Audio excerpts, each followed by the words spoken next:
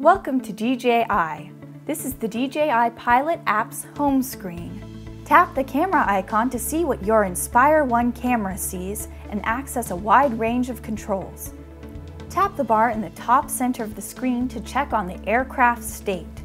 Here you can see your overall status as well as calibrate your compass and check on your flight mode, RC mode, aircraft battery, aircraft battery temperature, remote controller battery, remaining SD card capacity, and finally exit travel mode.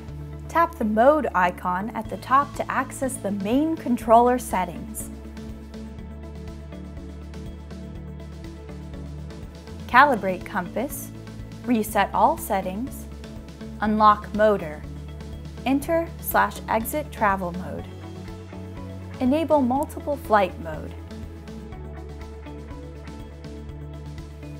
enable and reset IOC.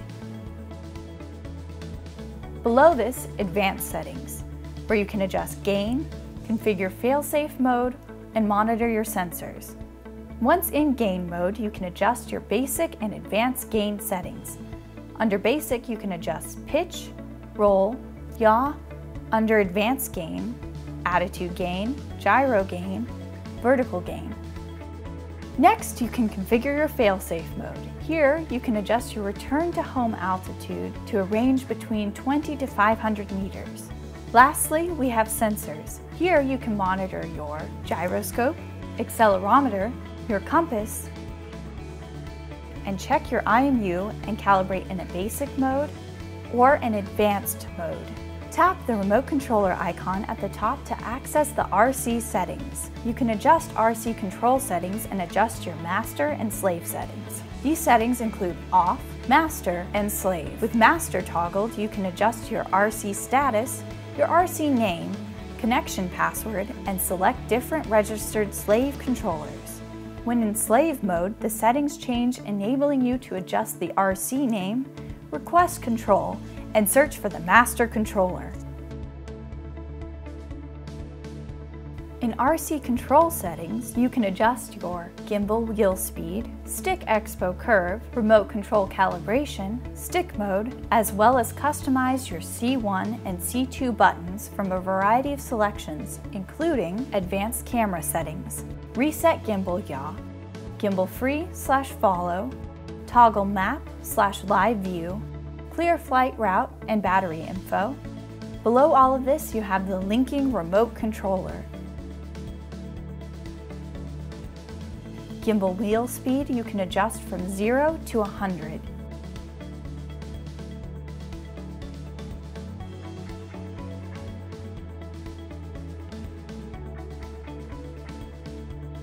In Stick Expo Curve, you can adjust both the Throttle Expo Curve and the Yaw Expo Curve. Tap the video transmission icon to access the image transmission settings. The Inspire 1 is able to show you the available 32 channels and their status. Green represents a stable channel, red an unstable channel, and blue your current channel. Beneath this, you can select which channel you would like to broadcast from. Just above the graphic visualizer is the Auto and Custom selector.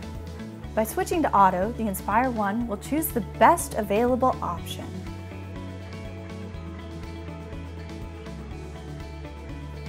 Once you have selected the channel, you can then choose the image transmission quality, ranging from 2 to 10 megabits per second. Below this is dual output, display OSD on HDMI output, and use metric on HDMI output. Tap the battery icon to access your aircraft battery information and settings. Inside we have critical battery warning, low battery warning, flight time, voltage, remaining power, total capacity, temperature, battery life, times charged, and finally your serial number, product date, and history. In the bottom left corner, you can see the orientation of your Inspire 1 and its live flight stats. The orientation is shown with a red and green icon. The red icon represents the aircraft and the green icon represents your camera. To the right are your flight stats, which display height and distance, vertical and horizontal speed, and the altitude of your aircraft. Tap the gear icon to access your general settings.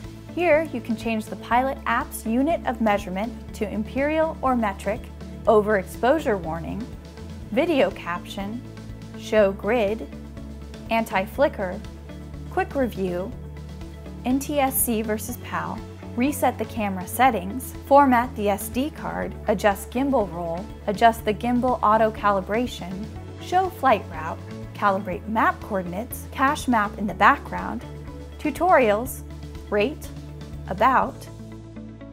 In Adjust Gimbal Roll, you can manually adjust the horizon or alternatively auto-calibrate it.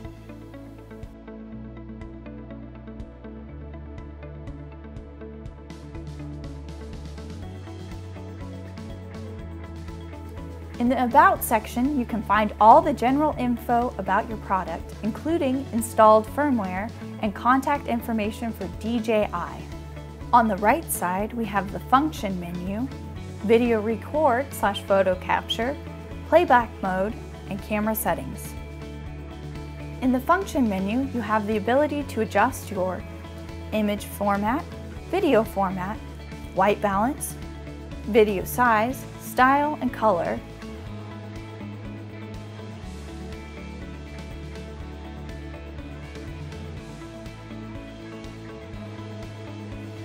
In playback mode, you can watch any clips you have recorded. Delete clips, download clips, upload clips to your DJI account, search for clips in a gallery view, and finally, have the ability to zoom in and out on a photo.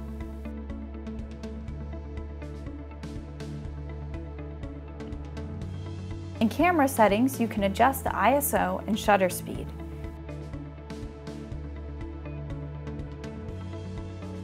You can also toggle the camera settings to auto, which allows you to change the exposure value. On the left, we have four icons. The first is Auto Takeoff mode. The second is Gimbal mode. Within this is Follow mode, FPV mode, free mode, and the last icon, which when pressed, returns the gimbal to its center position. The third icon is the auto land mode. The fourth icon will choose your home point. The first icon will set your home point to where your aircraft is positioned and the second to where your remote control is positioned. In the bottom right corner is your map. Tap on the map to enlarge it and enter map mode. In map mode, you will see a full screen map of your location. Clicking on the second icon to the left allows you to draw an autonomous route. To start the route, click the auto takeoff icon. To go home and land, click on the third icon. To clear the program route, click Clear Guides. The last icon allows you to orient your map to your home point or your aircraft point. On the top left near the home icon, you have your GPS signal strength. If all the bars are white, it is safe to fly. Red or empty indicates an insufficient GPS signal and it is not recommended to proceed with the flight. Move your Inspire 1 away from buildings or other large metal surfaces to obtain a stronger GPS signal.